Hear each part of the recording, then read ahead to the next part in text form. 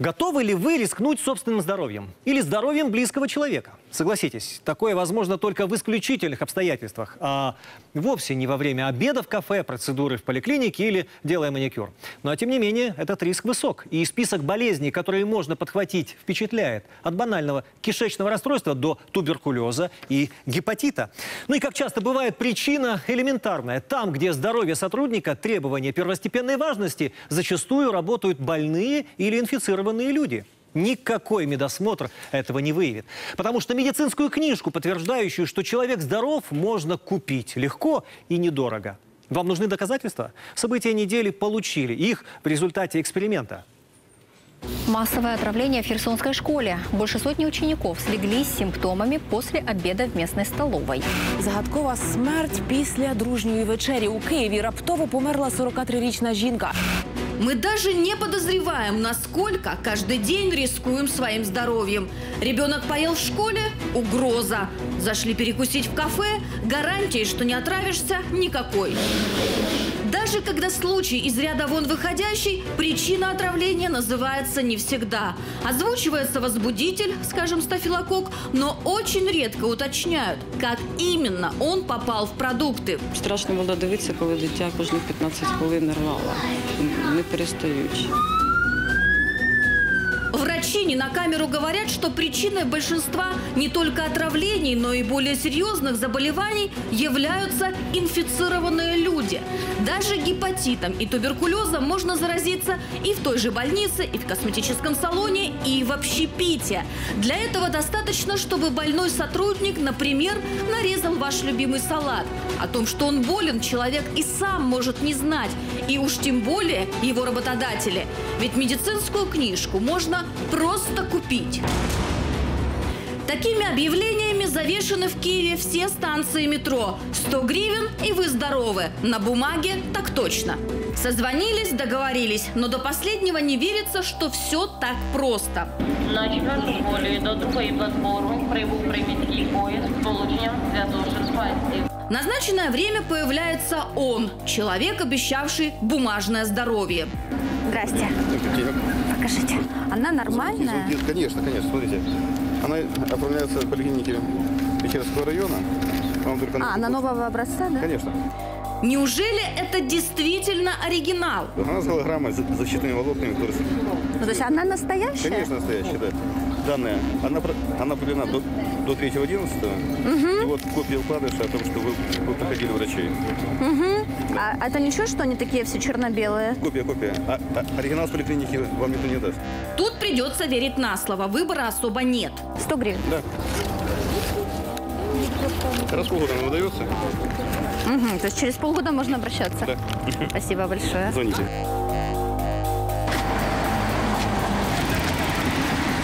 Смотрите, с момента моего звонка до получения лично в руки этой медицинской книжки прошло не больше, чем полтора часа. И вот, пожалуйста, мокрая печать одного из районов Киева, вкладыш, по которому я абсолютно здорова, абсолютно. Меня посмотрели терапевт, дерматовенеролог, оттоларинголог, стоматолог, Флюорография, естественно, есть. Анализ на сифилис, вирусные гепатиты, естественно, отрицательный. Полтора часа. 100 гривен. Люди, понимающие, подтвердили, бланк действительно оригинальный. Мокрые печати и голограмма настоящая. С такой книжкой дорога открыта для работы на любой кухне. Забегая наперед, скажу, что за два дня мне удалось пройти собеседование в трех заведениях. В супермаркете, в фастфуде и обычном кафе. Смотрите, как это было. супермаркете все строго. Просто так даже не войдешь. Досмотр вещей, что вносишь, что выносишь. А я просто боюся вже запізнитися. Нікуди ви не боїтесь опоздати. Ну, це ж не дуже добре, коли на співбесіду трошки. Девушка, я вас прошу, меньше текста. Пошли за мной. Не пошли, а побежали. Бегу, бегу.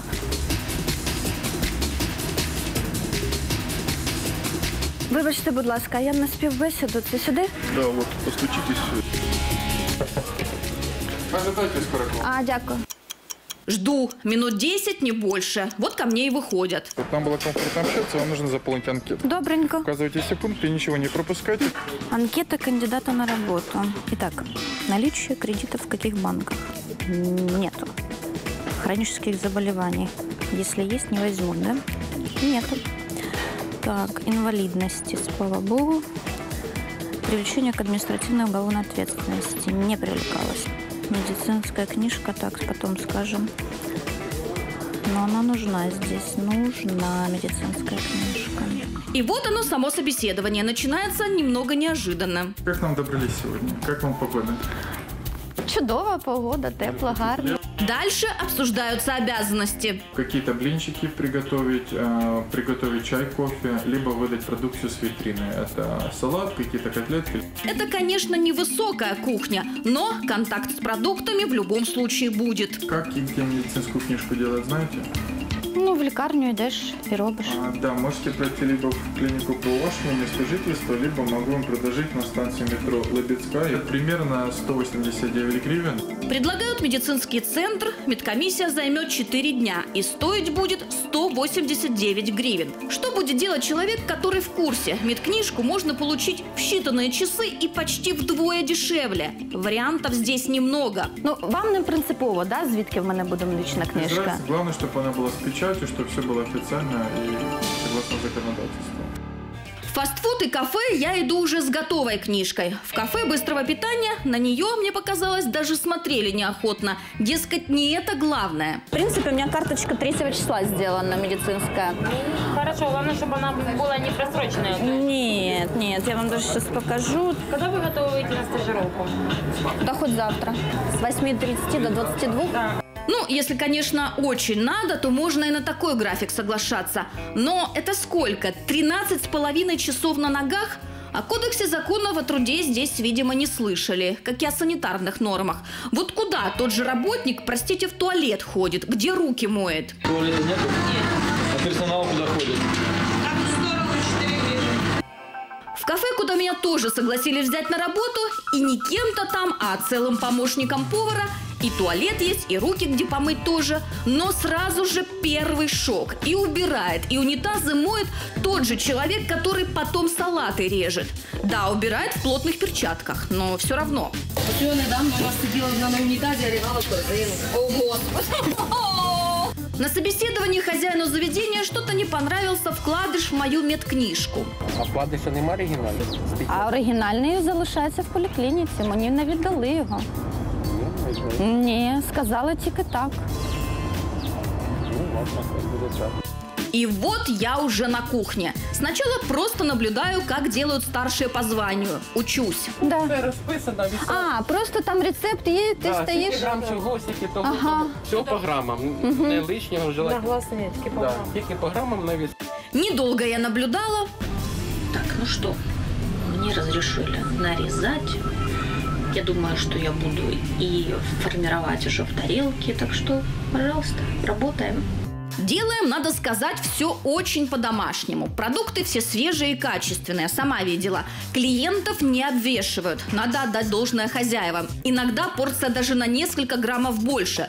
Но готовится все голыми руками, без перчаток. Порезаться элементарно, ножи заточены на совесть. Ай-яй-яй, ну що ж це так? Дуже порізалися. Давайте я буду різати. Що ви будете з порізаним пальцем? Давайте. Перемешиваются салаты тоже вручную. Так говорят удобней. Хоть и в одноразовой перчатке, но где гарантия, что она не порвется в процессе?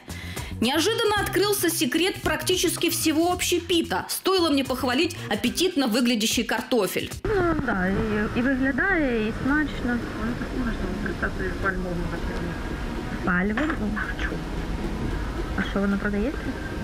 Звісно, смішно. Так, чекайте, ну що, воно в магазинах продається, це пальмове масло? Воно в магазинах не продається, воно заказують. Получается, все картошки фри, по-селянски, любое жареное мясо, рыба могут быть приготовлены на пальмовом масле? Логично, оно вкусное и на порядок дешевле.